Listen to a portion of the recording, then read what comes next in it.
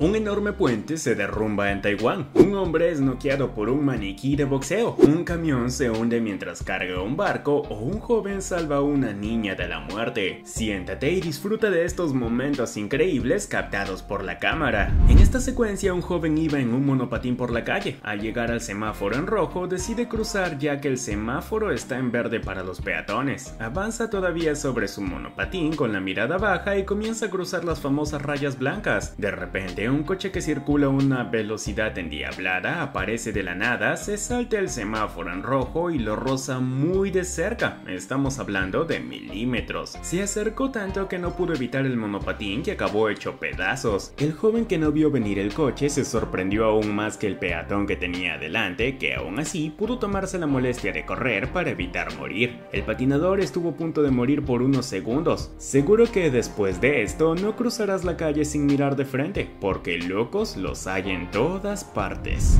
Esta mujer del video estaba de excursión con un grupo de personas. En un momento dado decide tomar un camino bastante estrecho para subir el acantilado, pero ese día el tiempo no era muy bueno y el mar estaba muy agitado, así que al pasar por el sendero una enorme roca se desprendió de repente de la ladera de la montaña y acabó en el océano. Y adivina de qué roca se trataba, exactamente la que la mujer acababa de pisar. Sucedió en el momento en que pasó la roca, así que estuvo cerca, incluso un poco más cerca de caer con la roca y encontrar la muerte. Nadie habría creído esta increíble escena si uno de los excursionistas no estuviera filmando al mismo tiempo. La pobre señora enfrentó el miedo de su vida. Creo que nunca más se atrevió a hacer senderismo. Ella que pensaba que el deporte alargaba la vida, parece que en esta ocasión se equivocó claramente. En China, en una carrera cercana a la ciudad de Shuhai, en la provincia de Guangdong, un hombre conducía su coche, un precioso Audi descapotable del que estaba locamente enamorado. Al acercarse a una señal de stop, el conductor decidió reducir la velocidad, pero al mismo tiempo una enorme grúa cayó justo encima del coche. La grúa había bajado para aplastar el coche y reducirlo a una torta. Dada la violencia de la caída, todo hacía suponer que el conductor estaba muerto, ya que el propio coche no había resistido, pero milagrosamente y contra todo pronóstico, unos segundos después del impacto, el hombre consiguió sacar la cabeza del techo de su coche y salir ileso. Sí, nos has oído bien, hemos dicho ileso.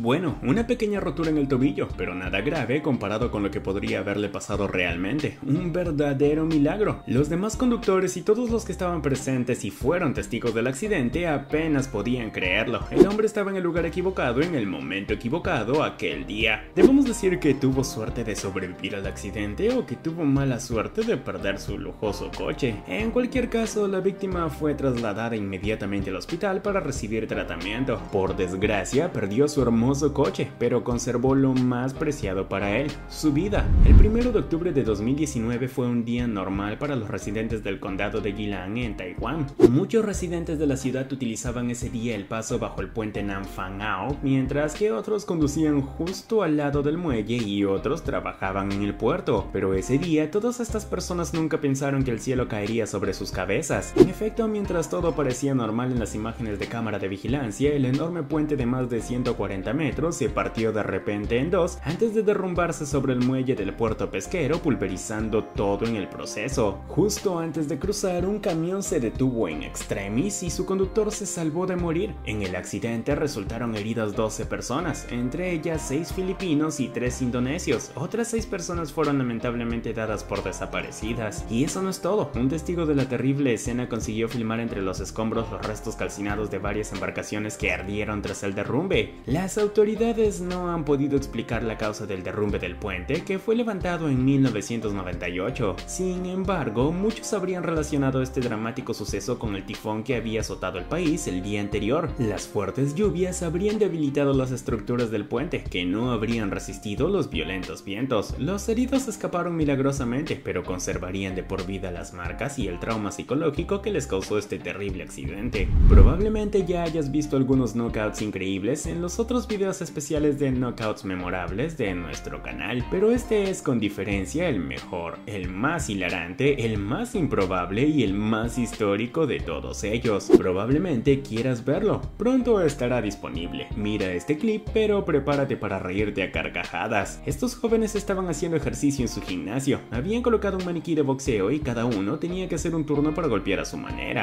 Puñetazos, patadas, bofetadas, codazos, había mil y un formas de poner de los nervios al pobre muñeco vulnerable y desarmado. Bueno, no tan vulnerable, que dio un golpe tan violento al maniquí que este retrocedió y luego rebotó para finalmente golpear a la siguiente persona que estaba preparada para golpearlo. El pobre muchacho se desplomó inmediatamente en el suelo debido a la violencia del golpe. ¿Te sentiste mal por él? Nosotros también. Ahora acabas de presenciar el noqueo más insólito de todos los tiempos. Sinceramente, ser noqueado por un maniquí sin manos, hay que hacerlo. Pero bueno, en realidad no fue su culpa. Pobre tipo. En Rusia un camionero conducía su vehículo para cargar mercancías en un barco. Enormes columnas de hierro que debían pesar toneladas. Pensó que la barcaza estaba sólidamente unida a la tierra, así que siguió conduciendo sin preocuparse del peso de su carga. El vehículo cargado con enormes tubos de metal tuvo entonces que izarse a la barcaza para cruzar el río y llegar finalmente a esperar el barco para ser cargado. El problema es que el conductor del camión trató de subir a la barca en marcha atrás y como la barcaza no estaba bien sujeta, empezó a moverse hacia atrás bajo el peso del remolque. Como resultado, la barca fue arrastrada. El conductor del camión fue absorbido automáticamente por el agua. Como no veía ninguna salida a esta terrible situación y su vida corría peligro, no tuvo más remedio que abandonar la cabina de su camión antes de que se hundiera en el agua. Una escena terrible que fue inmortalizada por las cámaras de los trabajadores presentes en el muelle. El conductor vivió el día más aterrador de toda su carrera. Afortunadamente, salió de milagro. En Rondonópolis, un municipio del estado de Mato Grosso en Brasil, un chico de 15 años iba acompañado de su novia. Ambos estaban de compras. En un momento dado se encontró accidentalmente con su hermana de 3 años que estaba al otro lado de la calle y que normalmente estaba acompañada por un adulto. Pero al ver a su hermano mayor, llevada por la alegría de verlo, decidió cruzar corriendo la calle sin ver ni a la derecha ni a la izquierda, lo que es normal a esa edad. Lo más aterrador fue que al mismo tiempo un coche se dirigía hacia ella a toda velocidad. El hermano mayor, tras anticiparse a la escena y ver venir el coche, arriesgó su vida y optó por cruzar la carretera para alcanzar a su hermanita y evitar que fuera atropellada. Así consiguió salvarla en el último segundo de una muerte segura. Tenía por su vida, sobre todo porque no pensaba en el riesgo que corría. Realmente pensó que iba a perder a su hermana pequeña y cuando se dio cuenta de lo que había hecho, casi perdió el conocimiento por el pánico que sentía. Al final se salvó.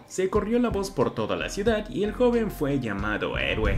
En Turquía, una joven turista había venido a admirar a los delfines en su entorno natural. En un momento dado decidió darles de comer, como hacen todos los turistas, así que cogió un trozo de pan con una mano mientras con la otra sostenía su teléfono para grabar. En un momento dado, al sumergir la mano en el fondo del agua para traer el animal hacia ella, este saltó repentinamente del fondo y se le echó encima. La joven se asustó tanto que se le cayó el teléfono. Lo has adivinado, este acabó en el agua. Pero eso no es lo más sorprendente. Lo más loco de la escena es que el delfín comprendió que la chica había perdido algo suyo. Inmediatamente se zambulló en el fondo del agua para cogerlo. Al cabo de unos minutos el animal reapareció en la superficie con el teléfono en el pico. Se lo devolvió a su dueña que estaba muy triste. Tuvo la suerte de que su teléfono era uno de los de última generación, capaz de resistir al agua incluso en las profundidades. Aquel día aprendió que en la vida, cuando hacemos el bien, necesariamente se nos devuelve, aunque solo un delfín. En Marruecos, un conductor ebrio había tomado una autopista para volver a casa, solo que demasiado borracho e inconsciente la tomó por la dirección contraria. Durante muchos kilómetros, el conductor condujo en sentido contrario desafiando los grandes camiones y otros coches que circulaban a 120 kilómetros por hora. La escena era tan increíble y alucinante que muchos no pudieron resistirse a filmarla. El conductor se salvó de la muerte, de lo contrario habríamos visto cómo se producía el accidente. Pero una cosa es segura, debió recibir graves sanciones. Debería dar gracias por seguir vivo.